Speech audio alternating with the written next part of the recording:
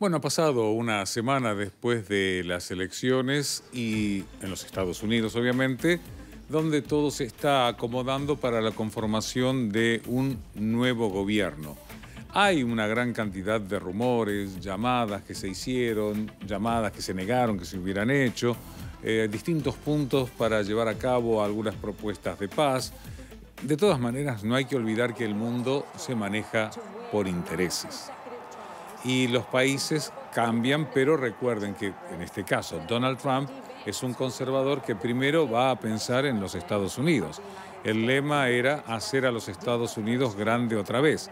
Eso quiere decir que esa grandeza se ha perdido y se tiene que recuperar. Como decía, y una semana después de las elecciones en Estados Unidos, los ciudadanos estadounidenses siguen pendientes del encuentro o del recuento, aunque ya saben que Donald Trump será el próximo inquilino en la Casa Blanca. Los republicanos han conseguido hacerse también con el control del Senado y acarician la mayoría en la Cámara de Representantes apenas a tres escaños de la mayoría.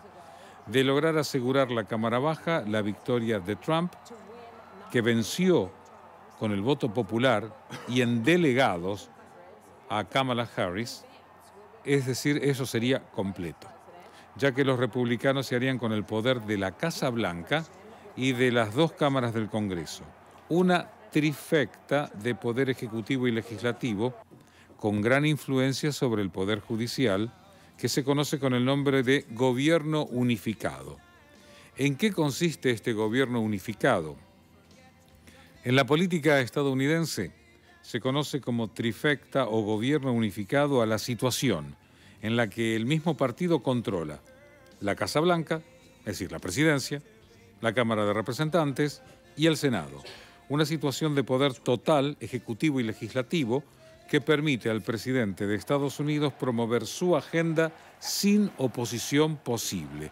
Y esta situación se prolonga durante al menos dos años, hasta las llamadas elecciones de medio término o de mitad de mandato, cuando vuelve a renovarse el completo de la Cámara de Representantes y el Senado, pudiendo perder el partido de gobierno el control de alguna de las dos cámaras legislativas. Y además, Trump podrá influir directamente sobre el Poder Judicial desde el despacho oval. Como presidente podrá nominar a los magistrados del Tribunal Supremo, y confirmarlos a través del Senado, controlado por los republicanos.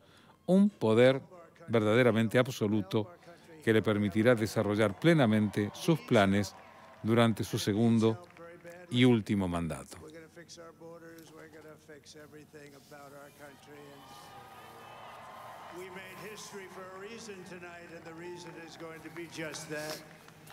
We overcame obstacles that nobody thought possible and It is now clear that we've achieved the most incredible political